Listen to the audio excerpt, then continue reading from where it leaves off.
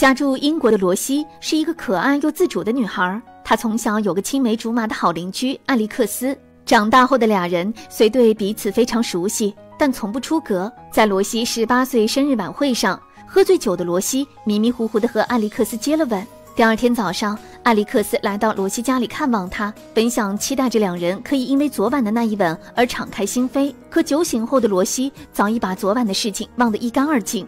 此时的艾利克斯尽管有些失落，那也得表现得很坦然。不久，学校举办的校园舞会就要开始了。面对性感女同学贝瑟尼的舞伴邀请，艾利克斯欣然答应了。吃醋的罗西也找了个外表帅气的男同学格雷格当舞伴。舞会间隙，生性风流的格雷格趁热打铁，与罗西发生了关系。舞会结束后，艾利克斯送罗西回家，在车上。阿里克斯提出希望两人可以一起去波士顿大学读书，心动的罗西一口答应了。一天，罗西收到了波士顿大学的录取通知书，他兴奋地跑到阿里克斯家，想去分享这一喜讯，却发现阿里克斯和贝瑟尼在房间内许久未出。罗西内心感到了一种难以言说的失落。不久，罗西在一家诊所被查出怀孕了，孩子的父亲也只可能是舞会那天的格雷格。伤心的罗西哭了一晚。当得知艾利克斯也收到了波士顿大学的录取通知书时，罗西隐瞒了自己怀孕和被录取的事情，因为他不想让艾利克斯被自己束缚和牵绊。两人随后在机场道别。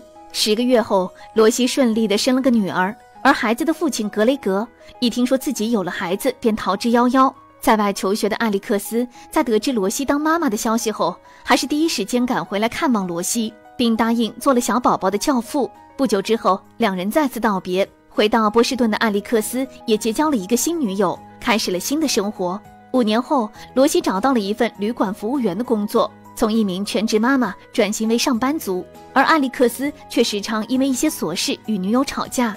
一次吵架后，艾利克斯忍不住给罗西发信息，表示很想见一面。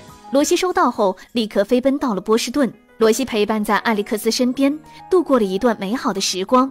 罗西也大胆向艾利克斯告白。但在试图接吻的那一刻，阿里克斯还是婉拒了。过后才得知，原来阿里克斯的女友已经怀孕。罗西责备阿里克斯对他隐瞒真相，两人不欢而散。不久，格雷格突然出现在罗西面前，他的到来给罗西母女的生活增添了几分温馨和乐趣。罗西相信格雷格是真的浪子回头，于是两人也火速结婚。没多久，阿里克斯再次发信息告诉罗西，他和女友已经分手。原来他的女友早已出轨。孩子的父亲是别人。时间又过去了五年，终于有一天，阿历克斯写了封信向罗西表白。不巧的是，信偏偏被格雷格捡到，看完后立刻藏了起来。不久，罗西发现丈夫格雷格对自己不忠，更是在现场抓到了格雷格和异性在酒店调情。过后便与格雷格离了婚。在清理格雷格的物品时，罗西发现了那封阿历克斯写给他的信。读完信后的罗西马上联系上了艾利克斯，但得到的消息却是艾利克斯马上要和贝瑟尼结婚了。不愿再错过机会的罗西，还是鼓起勇气前往艾利克斯的婚礼现场抢婚，但还是为时已晚。在婚礼上，罗西最终为艾利克斯送上了真挚的祝福。他站在人群中，泪水溢满了他的双眼。时间很快又过了两年，回家后的罗西卖掉自己的房子，在海边翻建了一家小旅馆。就在旅馆开业的那一天。罗西迎来了一个特殊的客人，这个人正是艾利克斯。罗西欣喜若狂，并腼腆地带领他进入客房。在房间内，艾利克斯问罗西：“我能带你跳一支舞吗？”罗西害羞地回答道：“虽然晚来，但总比没有好。”接着，两人拥抱在了一起。故事到此就结束了。或许人生最甜美的是爱情，最苦涩的也是爱情。有时候，一个转身就是一辈子错过。别等到错过了才去后悔。更别等到失去了才想挽回。